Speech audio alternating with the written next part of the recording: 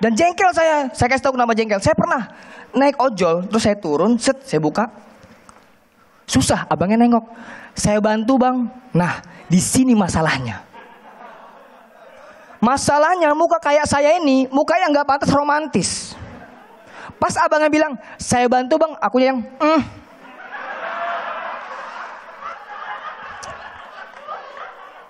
Dibuka sama abang itu.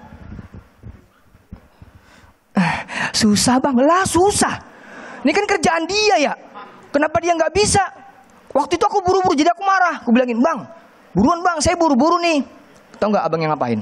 Dibukanya tangannya, ditatap mataku tajam terus dia bilang, bang, abang baru lima menit udah marah-marah. Ini saya udah seminggu bang. Susah ini dibuka tolong.